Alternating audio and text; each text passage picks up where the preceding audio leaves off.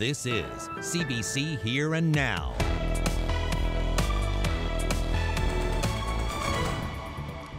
Politicians in the House of Assembly are pushing for details about exactly how an Atlantic loop that includes power for Muskrat Falls will work. If we don't do something, electricity rates will spiral out of control. It's our asset. asset. We should maximize the benefits for us here. People of Newfoundland and Labrador need to know what is happening to their power rates. Some snow in the air today, but some warmer temperatures are going to move in midweek. I've been a big guy all my life. Uh, I think every day I would wake up heavier than I was the day previous. And uh, I knew that wasn't sustainable. Small steps lead to a big payoff for this man from Old Perlican. Why he decided to make a major lifestyle change at the start of the pandemic. Good evening and welcome to Here and Now. I'm Anthony Germain. And I'm Carolyn Stokes. Now we have reaction tonight to yesterday's federal budget, including a brief reference to the Atlantic Loop negotiations. Yes, the Atlantic Loop was mentioned once in the federal budget, but today the provincial government is being pressed for more information. The loop is expected to be part of the solution to Newfoundland and Labrador's financial crisis, but today in the House of Assembly, some politicians say the details have been kept secret. Here and Now's Mark Quinn reports. Right now, the Atlantic Loop is a vague idea about a way to provide green energy for Atlantic Canadian provinces that somehow includes Quebec, Ottawa, and power from Muskrat Falls. It was the first thing the opposition asked about in the House of Assembly today. I asked the Premier, can you update the House on the progress of the Atlantic Loop negotiations? What will Newfoundland and Labrador have to give up in order to make it happen? We all know that Newfoundland and Labrador has an abundance of green, clean energy, and we can be the battery that powers the northeastern seaboard, but we won't do so in sacrificing to Quebec. We will make sure that we have our fair share. Outside the House, Furey said negotiations with the federal government on a solution for Muskrat Falls are ongoing. He said that's the first step in building the loop. He didn't provide more details, but he did say that selling the federal government an equity stake in the hydro project is one possibility. But that's certainly something on the table, and uh, we'd be well, we'd be open to that. I mean, the, the project is so big; it's ballooned out of control. Um, we, I mean, frankly, we can't. The, the fiscal capacity of the province can't sustain that hit. Again, Furey committed to keeping electricity rates to 13.5 cents per kilowatt hour. 13.5 cents was always to commission, and after that, the rates would be set by the PUB as they always have been historically. The opposition leaders say the Atlantic Loop was first mentioned in a federal budget two years ago, but since then, negotiations to develop it have been disturbingly secret. There must be some progress. Why wouldn't you report some progress? You must be moving things along. You know, if Atlantic Canada is to benefit from this, and particularly Newfoundland and Labrador, I mean, we have the asset. Muskrat Falls is the asset here for Atlantic Canada. And if Quebec is involved, that's fine. But we have to ensure that the decisions that are being made are not made in a boardroom in Quebec City. They're made somewhere in Atlantic Canada that benefits the people of Atlantic Canada, but particularly the people of Newfoundland and Labrador. People of Newfoundland and Labrador need to know what is happening to their power rates. We hear too many people who are leaving. We hear too many people who cannot afford their power rates, let alone for waiting them to go up. And we know if the rates go up, our goods and services are going to go up too. So this is a vital question. Premier Andrew Furey is asking the public to stay patient. He says he'll be happy to share substantive details of the deal when they become available. Mark Quinn, CBC News, St. John's. Well, the House of Commons is debating the federal budget today. $100 billion in stimulus Quebec. measures were announced today, including $30 billion for childcare over five years, the extension of pandemic-related wage and rent subsidies, money for jobs, and a federal $15 minimum wage. Jillian Pearson with the group Parents for Affordable Childcare NL is pleased to see the money for a national childcare program. She believes it will help more women enter the workforce. So, one of the most telling uh, outcomes from Quebec's system is that they have the highest uh, women workforce participation rate across all of the OECD countries. And that's essentially attributed to their longstanding affordable childcare system. So, all of the research shows that when you have accessible, affordable childcare, that more families, and particularly more women, uh, can get to work in the workforce. Pearson says she's remaining cautiously optimistic because of talk there could be a federal election this year. Oh, this budget has to survive another election. So I will be cautiously optimistic and uh, hope that we can hold the government's feet to the fire in terms of this investment. But we really need to make sure that this is not just announced, but also implemented.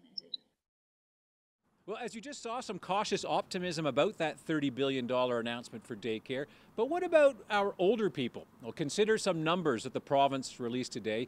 50 years ago, there were 200,000 children in the province and just 30,000 seniors. Today, 70,000 children, but 120,000 seniors. Rob Greenwood is the director of the Harris Center with Memorial University. Now, Rob, when you look at the data, what do you see in the future in terms of the demand of childcare versus long term care? Well, obviously, seniors' care, long term care is growing and will continue to grow. And so the supports there are really essential. Children's needs in the province, we know fertility rates have dropped. They're not going to increase, very unlikely. We need to do everything we can, though, for family friendly policies, because in large part, every worker we have is going to be more essential now and into the future. So, good daycare support is going to be needed so that every possible member of the labor force is going to be available. So, we really need to be more innovative with the way we provide that with a dispersed population, with smaller population. And so, both are needed, but one size does not fit all. I know you, we've spoken in the past about what's happening with the population in Newfoundland and Labrador and, and what the trend looks like. How are we going to find a balance between what we need to do for children and working parents versus what we need to do for, for Nan and Pop? Well, it's not easy, and they are connected. We all know, of course, families often depend on relatives for help, and in many rural areas that continues when you look at the Northeast Avalon, our numbers are very similar to urban areas across Canada. So I, I think the real key is going to be policies and programs and supports adapted to the nature of the region. And a lot of it is going to mean we're going to need to do things in new ways. What worked 50 years ago, 30 years ago, isn't going to work in the future. So, one possible solution then might not be these long term care centers, but maybe finding ways to keep seniors uh, staying at home longer, maybe? I think that's very much part of the plan with the, the health accord work that Pat Parfrey and Sister Elizabeth Davis are working on. Uh, I don't pretend to be a, an expert in that area, but I know the uh, center at Grenfell campus of Memorial that focuses on uh, aging research has done work in this area. And that's going to be really key to find ways so that seniors can live at home longer, but also so that they're not isolated, because we also know that people need that social interaction to stay healthy. All right, Rob, always a pleasure. Thank you very much. My pleasure, sir. Always. Meanwhile, the St. John's Board of Trade is happy to see wage and rent subsidies continue along with a new hiring program. It says those programs will be helpful to get businesses back on their feet after the pandemic. But in a statement, the board says it is concerned about ballooning debt. Canada's net debt is now at an all-time high, more than $1 trillion. The Board of Trade says it is pleased there is a plan to reduce spending to more sustainable levels as the impacts of COVID 19 subside and our economy recovers. We encourage close monitoring and persistence to ensure this goal is achieved. Well, the Federation of Labor is also pleased to see supports in place to help people get through the pandemic.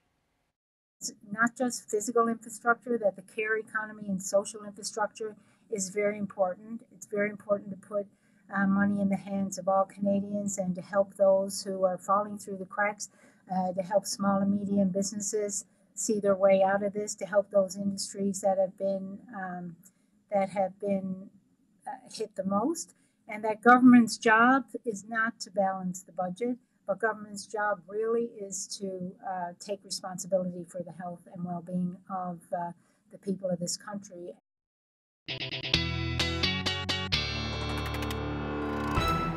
There's no denying that it has been a wet April for St. John's. In fact, 16 out of the last 20 days we've seen rain, and we've seen so much rain so far 213.8 millimeters that were less than 50 millimeters away from the all time record uh, set back in 1951. So we certainly have a few more days to add to that. It is looking like we're going to see uh, a little bit of dry weather over the next couple of days. This was the high today, 5 degrees. We saw some snow for parts of Labrador. I mean, uh, through parts of the uh, northeast coast. 2 degrees in Gander today. There's that area of low pressure. That's going to move off.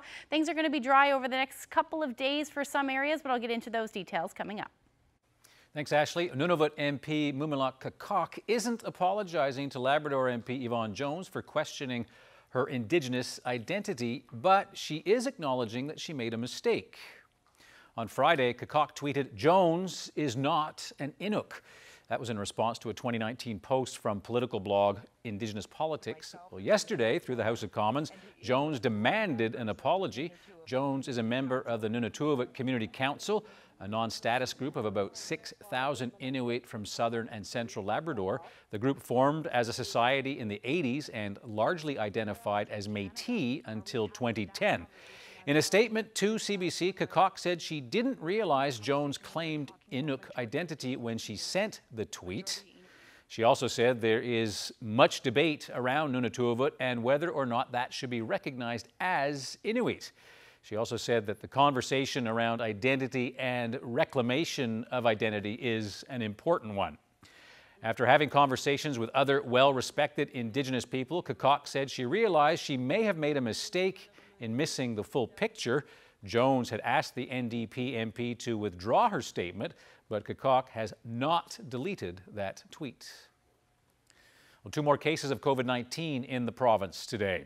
One is a woman in the Eastern Health Region in her 20s or 30s, and her case involves travel within Canada. The other is in the area covered by Central Health. It's a man in his 40s, and that case also involves travel within the country.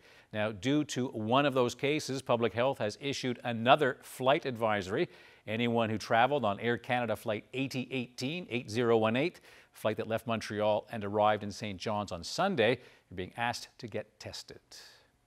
Well, with nine new cases today, Nova Scotia's numbers are climbing, and many of those are also linked to travel outside the province. So, just as Newfoundland and Labrador has done, Nova Scotia has decided to shut its borders to all but essential travelers as well. The exception, people from PEI as well as this province. The Premier says it was a difficult but necessary decision. So let's be clear. Thursday, April 22nd at 8 a.m., you cannot come to Nova Scotia from outside PEI or Newfoundland unless it is essential. If you live in Nova Scotia but your permanent employment is in another province, you can go back and forth, and this includes rotational workers. If you are a federally approved temporary foreign worker, if you're a specialized worker uh, who is needed for urgent, critical infrastructure work necessary to help the province func function, no other specialized workers will be permitted. So, what does this mean for the Atlantic bubble? Well, the Premier of this province has been in talks with the other Atlantic premiers and expects the bubble will be delayed.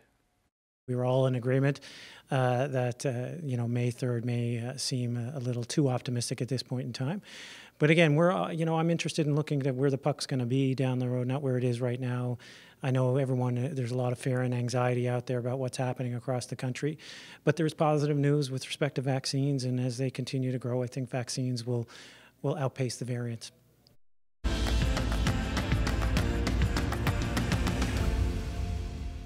Newfoundlander in Saskatoon decided to make the most of his downtime during the pandemic, undergoing a massive lifestyle change. Oh, at the start of 2020, Kyle White weighed in at 430 pounds, and in just over a year, with exercise and a new diligent diet, he's lost one third of his body weight. As Here and Now's Jeremy Eaton reports, he's taking it one step at a time and has already set another goal. Kyle White's warm smile beams across the screen from Saskatoon to St. John's, and these days the man from Old Perlican has plenty to smile about. In a little over a year, White has committed to his health, slashing his waistline from 58 inches to 44. I've been a big guy all my life. Uh, I think every day I would wake up heavier than I was the day previous. And uh, I knew that wasn't sustainable. Early in 2020, he stepped on the scale, weighing in at 430 pounds. The global pandemic got White thinking about his lifestyle. We had a lot of bad habits, my wife and I, like a lot of folks did, I think, uh, back in the Tiger King era of the pandemic. We had a lot of takeout, uh, a lot of sitting on the couch, and uh, eventually that didn't feel really healthy. At just 28 years old, White's body agreed. He was experiencing pain in his knees and his back. His doctor told him his blood pressure was too high for his age.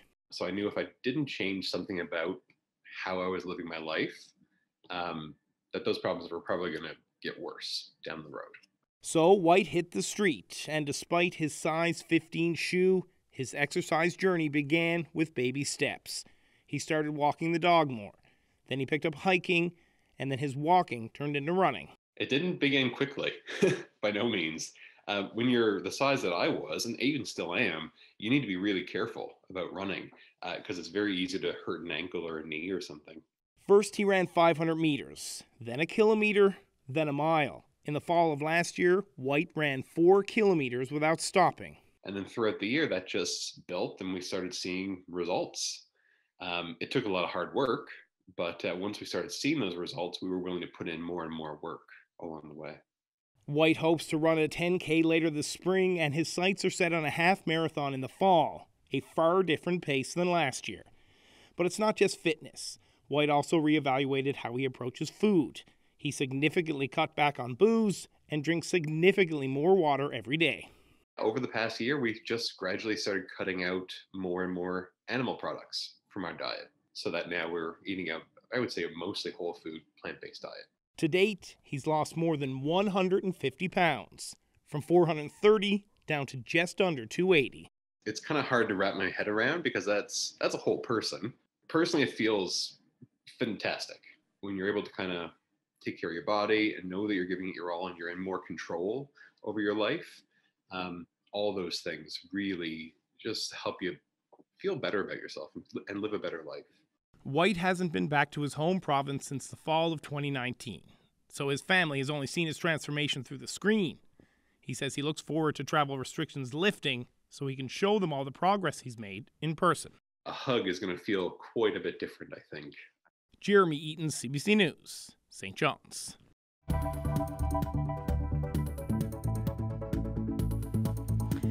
Beautiful evening out there as we look at the harbor. We're looking at a quiet couple of days. Rain will move back in as we head towards the weekend, but I'll get into those details coming up.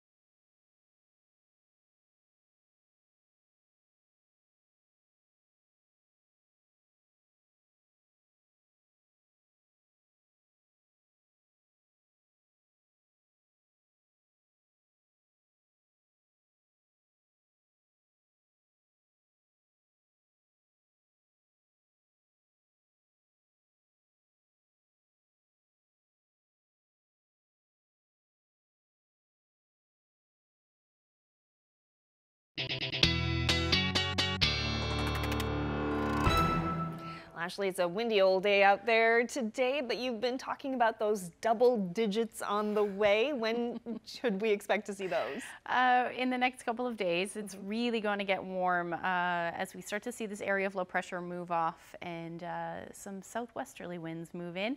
Let's take a look at the temperatures today. Not quite there yet, only reaching 5 degrees in St. John's, 2 in Gander. Twillingate only reached a high near one degree today. We did see some wet snow uh, or rain mixed with snow earlier today and last night. As we head towards the south coast, though, Burgeo, beautiful day today. Saw some pictures on Twitter. Uh, sunshine and 10 degrees for you. And then we've got those temperatures, even mild, uh, relatively speaking, for Lab City, sitting at 7 degrees earlier today and then still hovering near or just above zero along the coast. Temperatures have dropped uh, down to minus 1 in And then we've got temperatures dropping uh, about one degree for uh, Twillingate down to zero. We're going to see that temperature hover there as we head through the overnight tonight, but with these gusty winds, uh, upwards of uh, 50 to 60 kilometers per hour, even some areas seeing upwards of 70 earlier today. We are seeing a bit of a wind chill, so we're going to uh, see that wind chill continue as we head through the overnight tonight and then uh, into the minus single digits. And then temperatures are going to climb tomorrow. So we're not going to see too much uh, of a wind, or we won't see a wind chill tomorrow afternoon because temperatures are going to get uh, quite mild across the province. And that's as that area of low pressure moves off. Uh, we will see that return of some milder air. So here's where we're uh, looking at today, or this right now. We're seeing some showers along the west coast. And then that uh, shower activity for portions of Bonavista North through to the northern Avalon will generally continue as we head through the overnight tonight. Uh, even toward anywhere really along the northeast could see that potential for flurries as we head after midnight. That's when that will change over and then it should end overnight tonight. We'll see some light snow move in for Labrador and then clearing skies the story, or at least partly cloudy skies the story tonight for the west and the south. Uh, light winds for you as well, so it'll be a relatively nice night. However, temperatures will dip into the minus single digits, hovering near or just above zero uh, for most of central and eastern Newfoundland. The winds will die down just a little bit. Northwesterly is looking anywhere from 20 to 40 kilometers per hour. Flurries a story for Labrador, like I said. Lab West will see some light snow tonight hovering around minus two. And we could see anywhere from two to five centimeters of snow as we head into the early morning hours, and then even more snow uh, as we head through tomorrow, likely going to see somewhere between uh, five to 10 centimeters of a wet snow falling through the day on Wednesday. There's that snow there. It's going to make its way towards central Labrador as we head through the afternoon uh, on Wednesday and then change over to the potential for some showers. And that's because some of the warmer, milder air will move in. We might see some snow mixed with rain uh, for western areas as well. And then that will head towards coastal Labrador as we head into the evening hours. Not a whole lot happening for the island. We'll see a cloudy start to the day. Then things should actually clear, uh, clear out quite nicely towards the evening hours. We may see a few showers, spotty showers uh, in the morning along the west coast and then through the day uh, through central and then really along the northeast coast before some more rain or showers will move in Thursday morning for the south coast. There's your temperature. Should reach the double digits for most of us tomorrow afternoon, 10 to 11 degrees. I have St. John's still staying at 9 tomorrow uh, with a little bit of cloud cover, keeping things generally cloudy for Gander. However, you will likely see some sunshine as the day goes on. And then winds will be uh, generally a little bit breezy or a little bit brisk, 20 to 40 kilometers per hour. It'll make it feel a little bit cooler than what it is. And then we've got that snow, like I said, up across Labrador, clearing skies eventually, or may see a few peaks of sun in the west as the day goes on. So Thursday's forecast looks even better with temperatures reaching the teens, but I'll get into those details in your long range forecast coming up.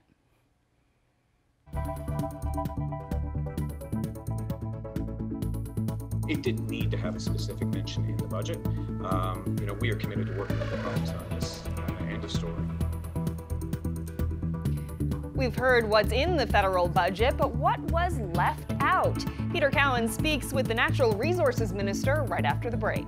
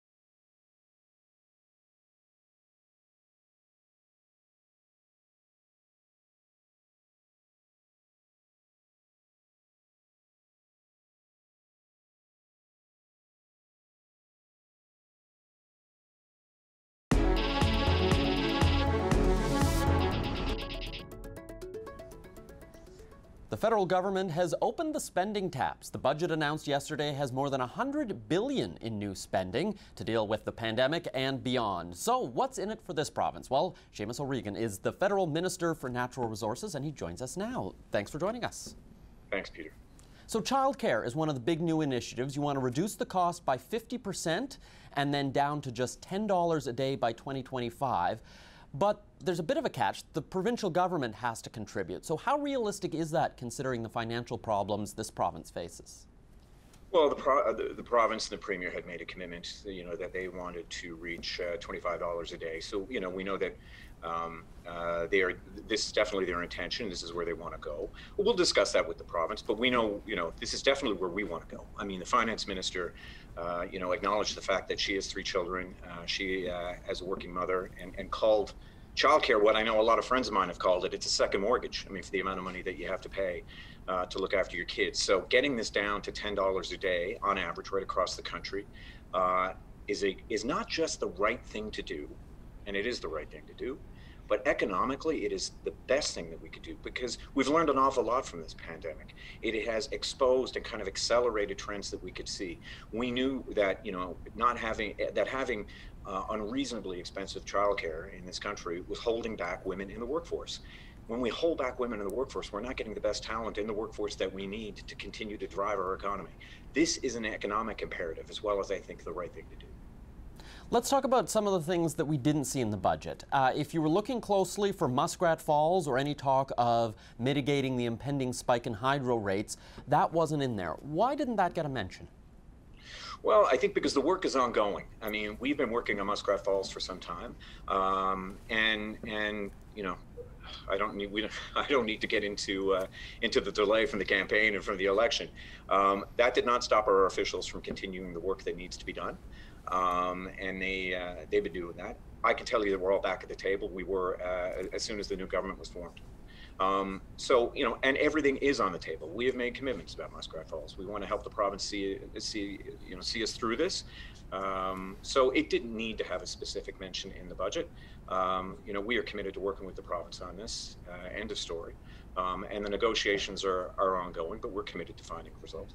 Now, looking at this budget, there wasn't really much that was specifically for the oil and gas sector. So, how does this budget help me if I'm an unemployed offshore oil worker in this province? So we've got two billion dollars over the next three years in in what I would call not retraining but retooling, um, because we need our oil and gas workers in order to accomplish two things to lower emissions and to build renewables. But you can do all the retraining you want. Right now, there aren't jobs in this province to build wind turbines, for example, or these other renewable things. So even if you get people retrained, where are those jobs in Newfoundland and Labrador? I can tell you that there's nothing that consumes more of my time than thinking about oil and gas workers uh, and energy workers uh, in this province and in Alberta and Saskatchewan. Um, you know, we're on the cusp of doing a lot of these things. And, you know, I've, I've, i lead a department of, of, scientists who are looking at things like carbon capture storage, both onshore and offshore, um, that are looking at all sorts of things. We, we committed $400 million, $75 million to an emissions reduction fund for this province, $320 million that we gave to the province, uh, was, you know, at the table with unions and with industry to, to figure out basically two things that we asked them to do you know, uh, make sure that workers are looked after and lower emissions.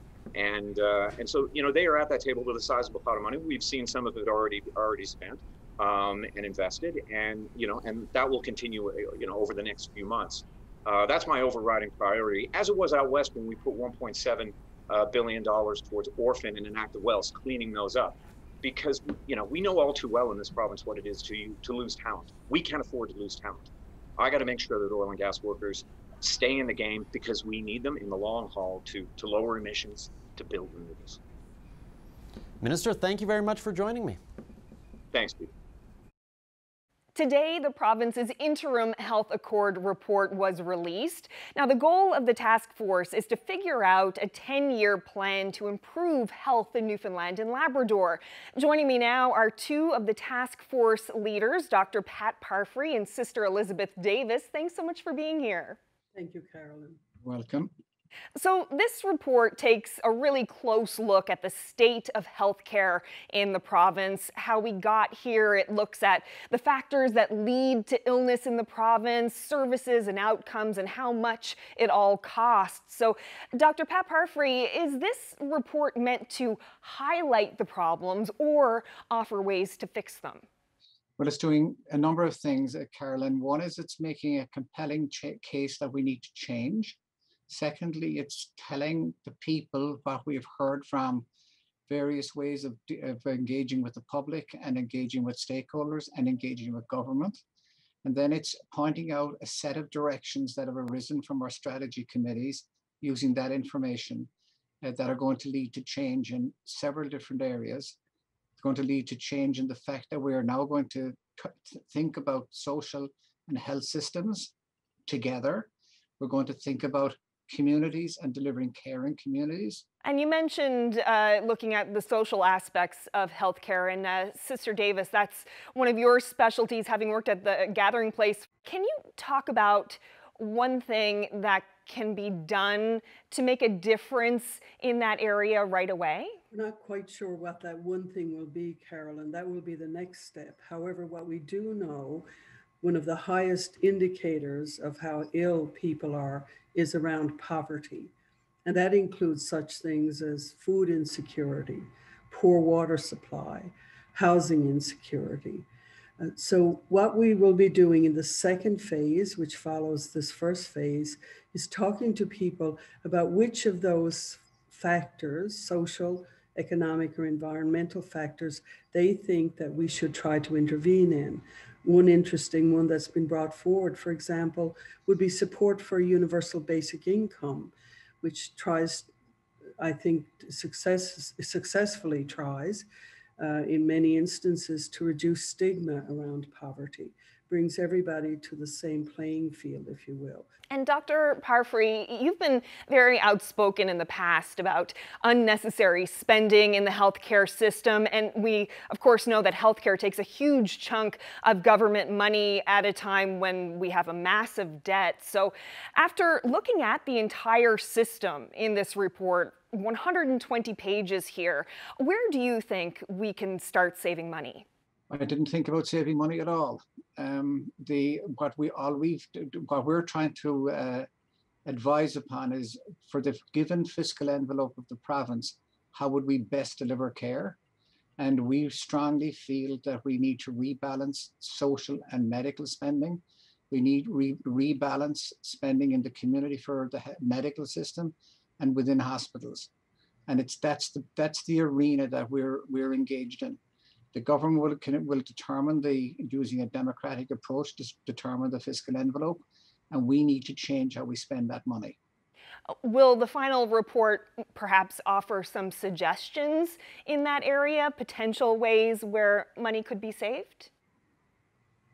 We will undoubtedly make strong recommendations across the gamut of these areas that we're talking about, across the social determinants of health, across community care, across hospital care, across care for the aging, uh, quality measurement, and using digital technology. We'll make strong recommendations of how we best see things delivered using those six strategies. You might think that this is just, just a bunch of platitudes and that we're not dealing with the issues.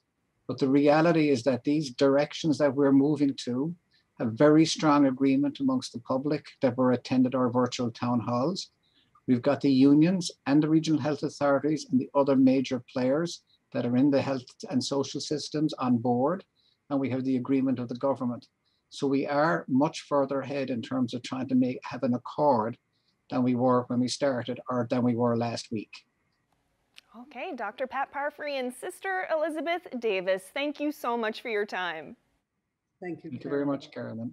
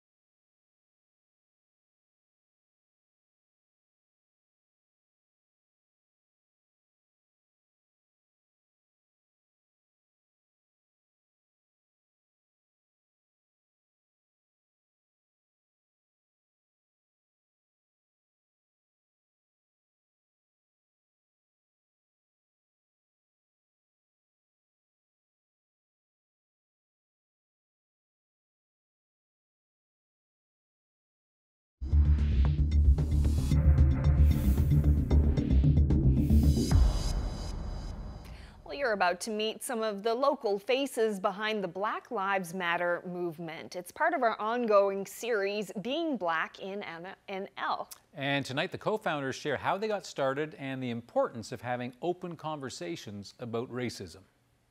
Hi, I'm Ife Alaba, and this is Being Black in NL. Today, we're going to speak to the founders of Black Lives Matter NL.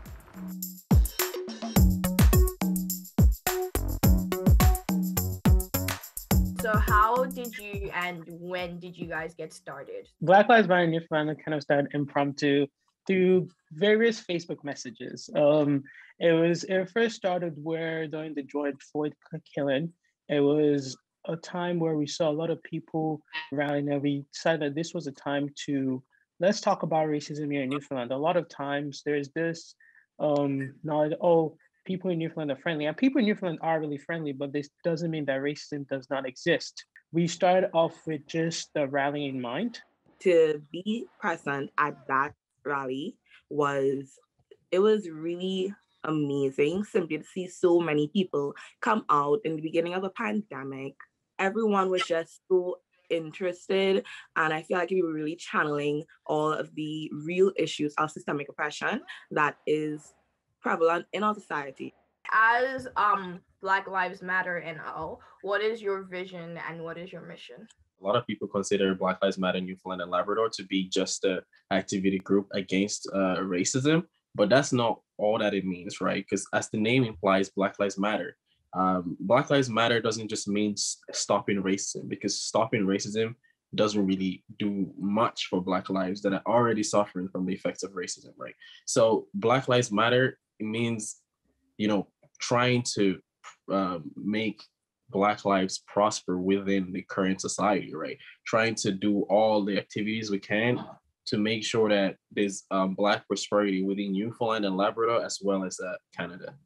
Although it might be uncomfortable for some people to talk about um, racism, why is it um, important to have an open and honest conversation about it? When you're able to speak about it, it actually clears up a lot of the I, I, I want to say ignorance, but I don't want to say ignorance because of the fact that at, at a point in time, we kind of have to step away from the, oh, well, I didn't know, because I think that as society, we need to look at not the intention mm-hmm. of the action, but what harm the actual action actually caused. And that's something that I a lot in my anti-racism curriculum uh, our major focus because a lot of the problems we we've, we've encountered with, with racial talks is the ignorance right? Um, i'm going to say ignorance because that's that's pretty much what it is. Um, you see a lot of well-meaning people which is the worst right? Well-meaning people just say really hurtful things without knowing and the whole time they're trying to do good. So when you actually reprimand them on that it feels like an attack while yeah. the whole time they're trying to minimize you without knowing that even if whether they know it or not I'm not sure. But um, that's why we're trying to focus on education because the more we can teach people about racism, the more we can um, let people know how exactly how to relate with um, Black people. What would you say to people who do not believe racism exists in, here in Newfoundland and Labrador, and how would you explain that to them? From my personal perspective, I would share my personal my story, my what what has happened to me, and from there try and educate the person and try and educate them on systematic oppression. Just look at your institutions, look at the leaders in your institutions. Do you see any black people there? Francis probably no. Why are there more black people or people of color doing more um what's it called? Uh, menial labor jobs, um, unskilled labor jobs. Just look at that. That's not a that's not a personal problem of like those individuals that's an institutional problem. Yeah. institutions you know working to keep them there. So just look at the reality of the society and see where black people are located and see us as compared to you know the white counterparts. And granted yeah. there's majority of white people here but that shouldn't like you should, when you compare percentages it should show that. It shouldn't show one person being disproportionately or one race being disproportionately disadvantaged than the other. It should just show the, the same proportions if it's an equal society. But unfortunately, it's not, and therefore, you know, the numbers will show you that. How do you combat racism as people? Like, what steps can we like, take? There's racism on the large scale that, that that affects us every day. in terms of we call it systemic oppression. Um, but we also have racism that affects us day to day, and it affects everyone who well, who is black, and it affects us in different ways. It could come about in terms of like yeah discrimination, like um maybe if your name wasn't so ethnic, stuff like that. Those little micro microaggressions. I think that a way to combat that to the average person in society is to, like I said before, try to have these conversations, try to do some thinking within yourself, take up the onus within on yourself to like research to really understand and then have this conversation figure out why this is wrong or uh, or like what is really like try to really take ourselves out of that ex- that exceptionalism thing where we feel like if you know this doesn't really affect us so it doesn't really matter. It does. When we're in key decision spaces key spaces that we know are key decisions are being made we always it's always important to look around look where you are and say who's not being represented yeah. in this decision. Um, who should be the center of the conversation. A lot of times um, we need to people aren't put at the right center of the conversation. So it's always important to look around be who is the ones making the decisions here as well. And also is one thing Brian mentioned earlier is that what we see a lot of time is when we analyze systemic oppression is that we see a lot of um, black people, a lot of people of color do the menial work and not being in maybe like being an executive of a company as well. I think we should attack this from a more philosophical perspective, right? Um, when we look at how racism can be. Racism is not an art, it's not a natural thing, right? Racism was deliberately created to, you know, keep black slaves, you know, in, in USA or, or whatever. Um, so it's, it wasn't something that naturally happened because judging people on the color of their skin is the most ridiculous thing ever. Um, it had to be made. There was a lot of propaganda done. If you look at like the you know the TV shows or the newspaper from back then, or even the scholar scholarly articles. It was all propaganda made to you know elicit to create racism. However, what we've done has just been to pull out the knife. Um, to use an analogy, like we we just stabbed someone and we pulled out the knife and we're like, go about your day, right? So that's not that's not how you do. That's not how you go about healing. You have to make deliberate actions to counter the actions you've done before right? Say, let's say someone dumped oil in the in the, in the dam or in the water, and everyone has to swim in that. That's pollution, right? Because that's what racism does in our society. It pollutes it. You can't just be like, stop dumping oil.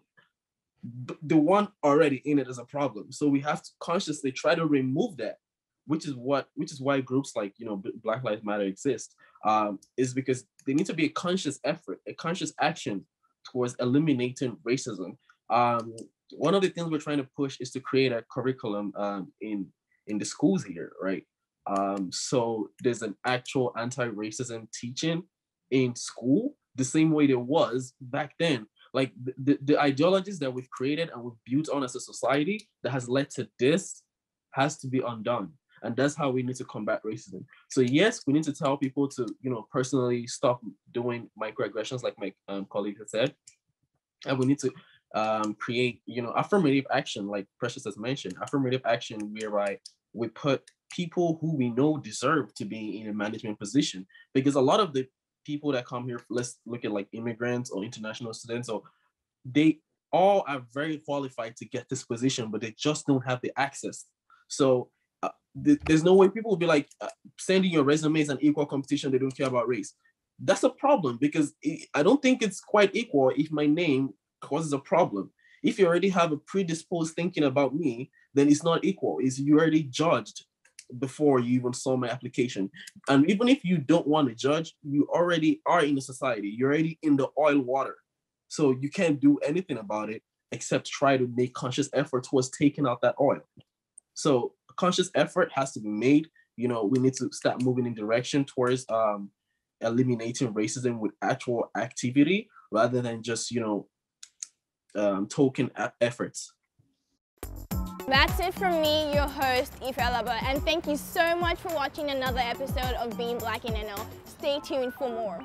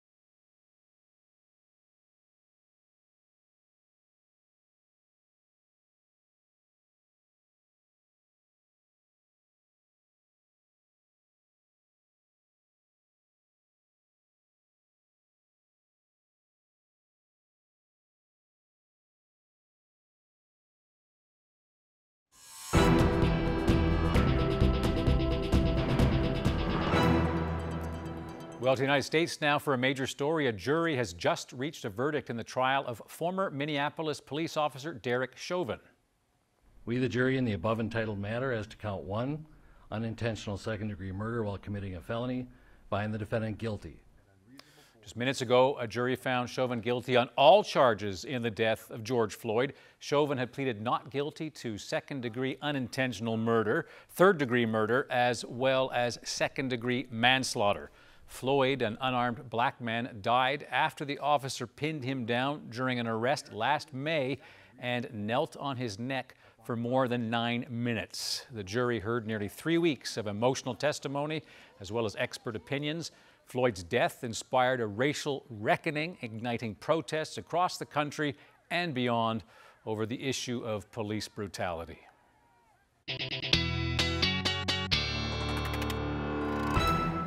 Big story for sure, and uh, CBC will be tracking all of the reaction to that story, so you can go to our website at cbc.ca slash NL for all of that.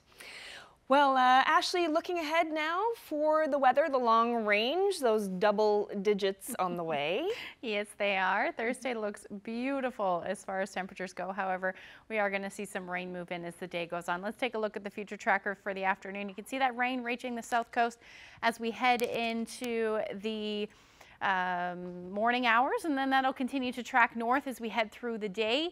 And we're going to see that encompass most of the island through the afternoon. And then across Labrador, uh, it's looking like we're going to see some snow again for the west and then for central areas of Labrador. You should stay on the rain side for most of the day on Thursday, but then as we get into Friday morning, some cooler air looks like it'll make an appearance, and that means some of the higher elevations along the uh, west coast could see some snow with this one, or at least mix with some snow at times.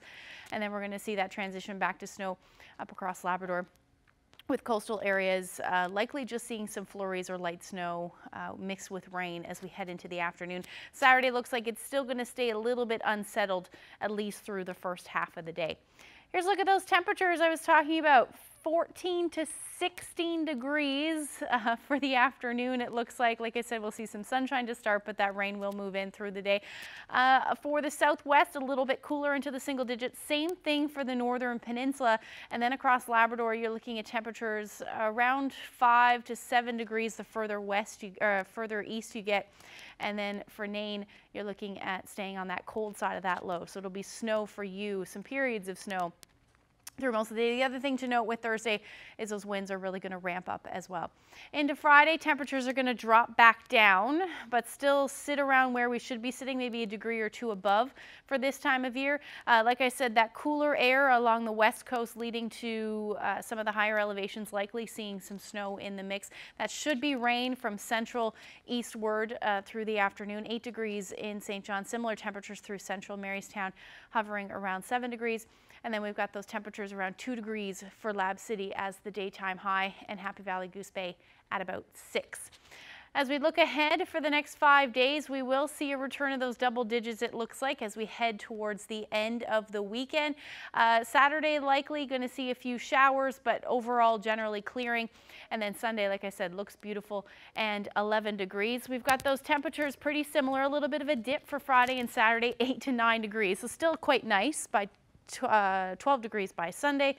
And then for the west coast, again, the higher elevations seeing the potential for flurries, but temperatures should warm up quite nicely by the time Sunday rolls around.